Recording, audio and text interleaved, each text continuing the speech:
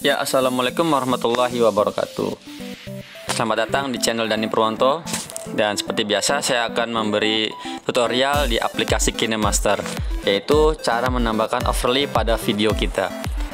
Dan seperti apa contohnya? Saya akan tampilkan hasil dari editan ini. Seperti ini videonya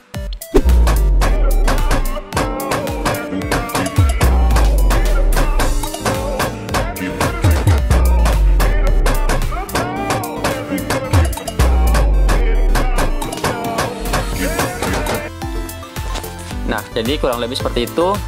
Mari teman-teman semua buka aplikasi KineMasternya. Dan sebelum lanjut, teman-teman harus mempunyai sebuah adegan atau konten videonya untuk yang untuk menambahkan efek overlay itu.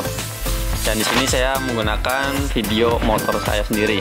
Kemudian jika sudah disediakan videonya, kita pilih icon plus.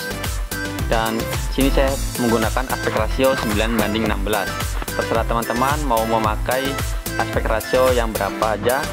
Sini sudah disediakan ada tiga aspek rasio. Saya pilih yang 9 banding 16 kemudian teman-teman masukkan video yang sudah direkam. Di sini saya menggunakan video ini kemudian kita checklist. Setelah itu kita pilih lapisan kemudian pilih media dan kita tambahkan video overlaynya untuk teman-teman yang belum punya video overlaynya teman-teman silahkan download di kolom deskripsi. Saya sudah sediakan linknya. Jika sudah seperti ini kita pilih yang ini di tengah-tengah. Sebelum gunting itu kita pilih fullkan di layar. Terus kita checklist nah jika sudah seperti ini kita pilih lagi lapisan. Lapisan video ini ya bukan lapisan ini bukan. Yang ini. Terus kita scroll ke bawah kita cari menyampur atau blending kita pilih cahaya keras kita coba dulu apakah sudah berhasil kita play